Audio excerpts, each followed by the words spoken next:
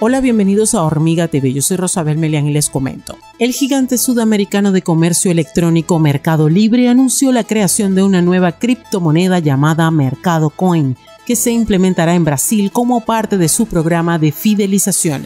Los clientes obtendrán Mercado Coins como reembolso al comprar productos en la plataforma de comercio electrónico. Luego podrán usar la moneda digital para nuevas compras o intercambiarla en la unidad de servicios financieros de la compañía Mercado Pago.